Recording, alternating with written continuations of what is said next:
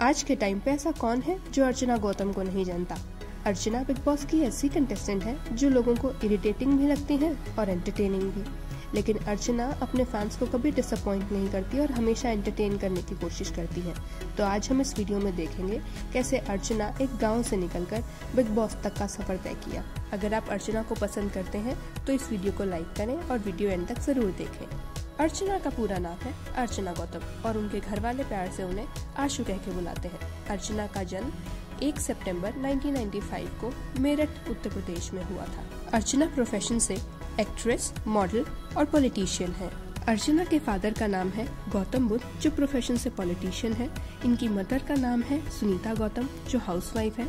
अर्चना के तीन भाई भी हैं, जिनका नाम है मीशु, विनय और गुलशन। अर्चना ने अपनी schooling Shanta Mark girl inter college Meerut से कंप्लीट की थी और मेरिट के ही कॉलेज आईआईएमटी कॉलेज से bachelors in journalism and mass communication में ग्रेजुएशन की थी। अर्चना बचपन से ही एक्ट्रेस बनना चाहती थी, इसीलिए उन्होंने बैचलर्स में ही मॉडलिंग स्टार्ट कर दी थी।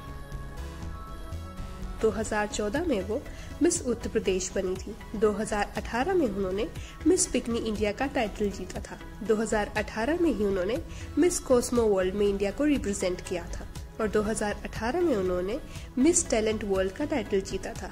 बात करते हैं अर्चना के फिल्मी करियर की तो उन्होंने 2016 में ग्रेट ग्रैंड मस्ती में गाँव की गोरी का रोल प्ले किया था। 2017 में उन्होंने हसीना पार्कर में सलमा का रोल प्ले किया था। 2017 में ही भारत कंपनी में अनीता भारद्वाज का रोल किया था और 2019 में उन्होंने जंक्शन वाराणसी में एक आइटम सॉन्ग किया था। और साथ ही अर्चना कुछ तेलुगु फिल्म्स में भी नज़र आई हैं। बात करें उनके म्यूज़िक वीडियो की तो अर्चना ने 2018 में अपना सबसे पहला म्यूज़िक वीडियो किया था हाले दिल, जिसकी सिंगर थी शिबानी डांडेकर और अनुषा डांडेकर की बहन अपेक्षा डांडेकर। 2019 में उन्होंने अल्ताफ सईद का गाना बेइंतहा किया था।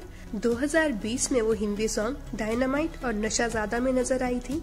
उन्होंने एक हरियाणवी सॉन्ग भी किया था, सांस, और पंजाबी सॉन्ग किया था आईलाइनर और बुग्गुए।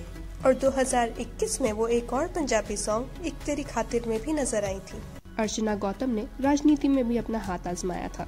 साल 2021 में उन्होंने इंडियन नेशनल कांग्रेस ज्वाइन की थी। फिर उन्हें यूपी की हस्तिनापुर सीट से टिकट मिला था।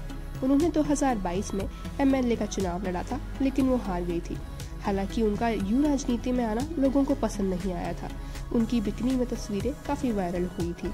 एक्ट्रेस को स्लट शेम का शिकार होना पड़ा था। हालाँकि बाद में उन्होंने सबसे रिक्वेस्ट भी किया था कि उनको प्रोफेशन और पॉलिटिकल करियर को मर्ज न किया जाए। इसके बाद अर्चना गौतम को मौका मिला बिग बॉस सोलह में एंट्री लेने का।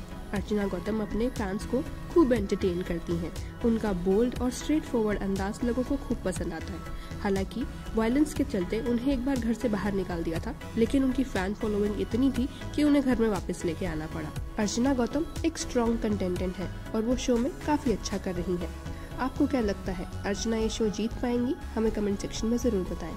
बात करें अर्चना गौतम के घर की तो अर्चना अपनी फैमिली के साथ मेरठ, उत्तर प्रदेश में रहती है। बात करें अर्चना की कार कलेक्शन की तो अर्चना के पास एक किया है, जिसका प्राइस है लगभग सत्रह लाख रुपए, और एक स्कोडा भी है, जिसका प्राइस है लगभग ग्यारह लाख रुपए। अर्चना गौतम सोशल मीडिया पर खासा एक्टिव रहती है। बात करें उनके इंस्टाग्राम अकाउंट की तो उनके वन मिलियन फॉलोवर हैं, और फेसबुक पे उनके 8.5 मिलियन फॉलोवर्स हैं। बात करें अर्चना गौतम के इनकम की तो अर्चना मूवीज़ एड और म्यूज़िक वीडियो से काफ़ी अच्छा पैसा कमा लेती हैं। वो हर एक प्रोजेक्ट के लिए एक से दो लाख रुपए चार्ज करती हैं। रिपोर्ट्स की माने तो अर्चना की नेटवर्थ लगभग एक से दो करोड़ रुपए है